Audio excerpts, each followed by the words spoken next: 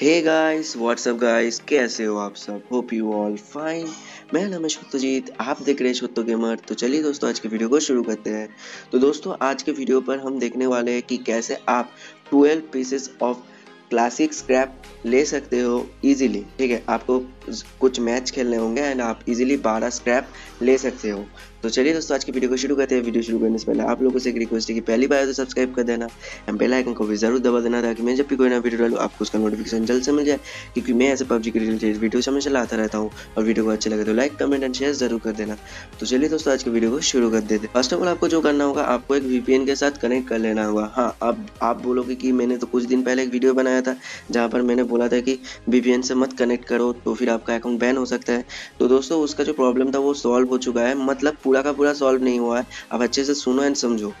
अगर आप classic match खेलते हो वीपीएन कनेक्ट करके तो फिर आपका अकाउंट बैन हो सकता है, ठीक है? अगर आप जस्ट वीपीएन से कनेक्ट करके जस्ट नॉर्मली रिवॉर्ड लेते हो, या आर्केड मैच खेलते हो जॉम्बी मैच खेलते हो, या टीडीएम मैच खेलते हो तो फिर आपका कोई भी प्रॉब्लम नहीं रहता है बैन होने का। लेकिन अगर आप वीपीएन से कनेक्ट होके आप अगर क्लासिक मैचेस खेलते हो तो फिर आपका अकाउंट बैन हो सकता है। क्योंकि वो जो सर्वर्स होते हैं, वो रैंकिंग सर्वर्स होते हैं। आप जानते हो क्लासिक मैच रैंकिंग का मैच होता है। आपका जो के होता है, फिर आपका रैंक होता है, सारे के सारे उसके ऊपर निर्भर करता है क्लासिक मैचेस के ऊपर। तो इसीलिए आप क्या मतलब आप कभी भी क्लासिक मैच मत खेलो वीपीएन के अंदर, ठीक है? अगर आर्केड मैच खेलते हो तो कोई प्रॉब्लम नहीं है। अगर मॉन्स्टर सॉरी टीडीएम मैच खेलते हो तो कोई प्रॉब्लम नहीं है। अगर आप जोमी मैच खेलते हो तो कोई प्रॉब्लम नहीं है, ठीक है? लेकिन क्लासिक मैच मत खेलना, ठीक है? तो आज का जो वीडियो है, जहाँ पर मैंने आपको बोलने वाला हूँ कि आपको ट्वेल्व स्क्रैप मिलने वाले हैं क्लासिक स्क्रैप वहाँ पर आपको मतलब कोई भी मेंशन नहीं किया हुआ है, ठीक है? कि कौन सा मैच खेलना है? आपको जस्ट लिखा हुआ आएगा कि वन मैच टू मैच ऐसे कुछ लिखा हुआ आएगा।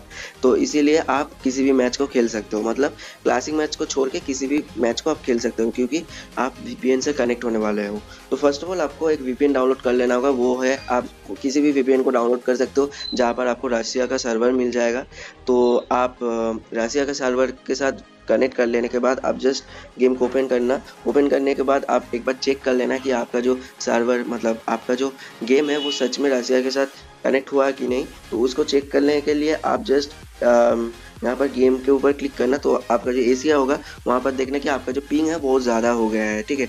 तो आप इसका मतलब और यहाँ पर आप, अगर आप ट्रॉफी पर भी क्लिक करोगे तो इंडियन बोनस चैलेंज नहीं रहेगा, ठीक है? तो इसीलिए आपका जो है, हो गया है। अब आपको क्या करना होगा इवेंट सेक्शन पर आना होगा। इवेंट सेक्शन पे आने के बाद अब नीचे जाओगे तो रशिया डे सेलिब्रेशन है। वहाँ पर जब आप क्लिक करोगे तो आपको दिखाई दे रहा होगा complete one match complete two match complete four match ठीक है? तो three three six twelve scrap आपको मिल रहा है क्लासिक स्क्रैप मिल रहा है ठीक है?